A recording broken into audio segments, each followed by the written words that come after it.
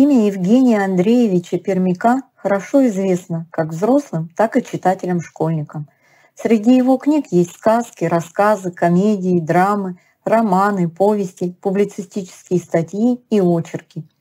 Для детей и юношества он написал более 200 книг, среди которых «Дедушкина копилка», «Торопливый ножик», «Тонкая струна», «Пичугин мост», «Иголкины братья» и многие-многие другие. Его сказки отличаются большой выдумкой, смелой фантазией, сочностью и выразительностью языка. Читаются они легко, на одном дыхании. Герои сказок не ищут помощи у волшебных сил. В них всегда побеждает разум, мудрость, настойчивость и труд. В рассказе Пермяка «Шестой Малахай» главным персонажем является лиса, которая, попав в неволю со своими лисятами, продолжает о них заботиться, несмотря ни на что – и хотя лиса понимает, что человек вряд ли отпустит ее на волю, она пытается воспитать своих детей свободными лисами. Удел лисы – стать малахаем для человека, который заботится о ней только для того, чтобы шкурка была погуще для будущей шапки. Но не такого будущего она желает своим детям. Евгений Пермяк, шестой, Малахай. Мне было тогда лет 17. Я служил в заготовительной конторе разъездным – это была должность человека верхом. Куда пошлют, туда и едешь. Что поручат, то и выполняешь. Как-то ранней весной меня послали на Копылуху, где выпасались табуны нашей конторы. Я поскакал туда с большой радостью. Там у меня был друг, Кусаин, и я всегда останавливался у него в юрте. Перед казахскими юртами нередко можно было встретить лисенка, привязанного к колу. Делалось это так. Вбивали в землю кол, на кол надевали скользящее кольцо с ушком, к ушку привязывали цепь, а на цепь сажали лисенка в ошейнике. Лисенок бегал вокруг кола. Скользящее кольцо не позволяло ему запутываться. С лисенком играли дети, кормили его, ухаживали за ним.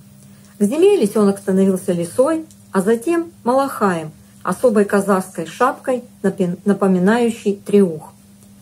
Приехав в Кусаину, я увидел большую красивую лису, привязанную к колу. Она, развалившись, кормила пятерых лисят. Лисята не были на привязи.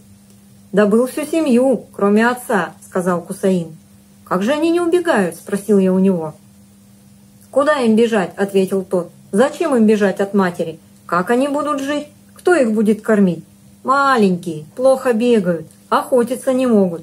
А тут им хорошо, и мне хорошо, Вырастут, шесть малахаев будет. Пока я жил у Кусаина, все свободное время отдавал Лисе и ее детям. Кусаин вырыл неподалеку от кола нору и заслал ее шерстью. Лису кормили сырым мясом и потрохами. Лисят подкармливали кобыльим молоком. Лиса временами забывала о неволе. Она радовалась вместе с резвящимися лисятами, тщательно вылизывала их, играла с ними и покорно растягивалась у норы, когда приходило время кормить своих крошек. Лиса – трудно приручаемый зверь. Шумы и голоса людей пугали ее. Дым и огонь костра страшили ее. Соседство собаки – опасное соседство. Но у нее дети, она мать. Чувство материнства заставило лису примириться со всем. Оно сильнее страха.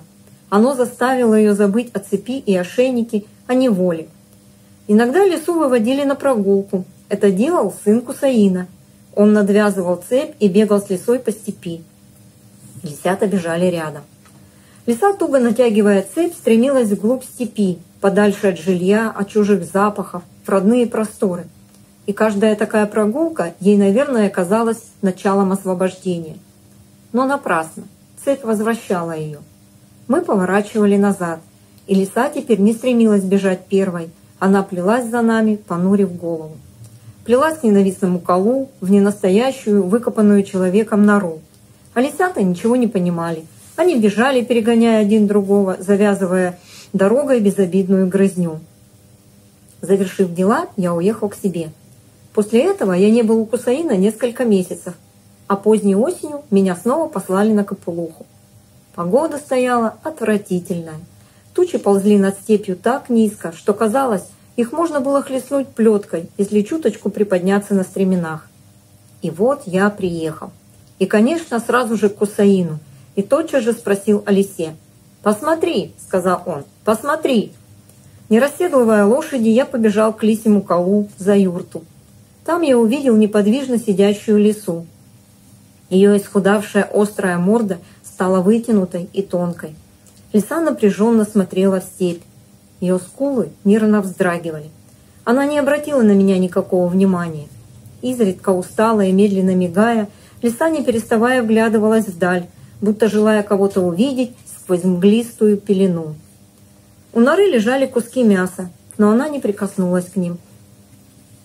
«Они той ночью бросили ее», — грустно сказал Кусаин. «Зачем им теперь мать? Она выкормила своих детей. Она им дала все. Острые белые зубы, теплую рыжую шубу, быстрые ноги, крепкие кости, горячую кровь. Зачем им теперь старая лиса? Наверное, в детстве мне довелось много слышать слезливых сказок, и они научили меня жалеть даже сломанное дерево. Мне безумно было жаль лису. Лису, так заботливо и так нежно воспитавшую в страхе и неволе, рядом с шумным и дымным жильем человека пятерых лисят. И они теперь оставили свою заботливую мать наедине с ненавистным колом. Они покинули ее темной осенней ночью, когда все спали, и ни выстрелы, ни собаки их не могли догнать. Это была хитрость. Хитрость, которую, как и свою жизнь, они тоже получили от матери. Для зверей все это вполне законно, но человек и зверя хочет видеть лучшим, чем он есть на самом деле. Так уж устроены благородные человеческие глаза. «Она звала их», — сообщил мне Кусаин. «Она жалобно звала. Она вчера лаяла на всю степь, как по мертвым.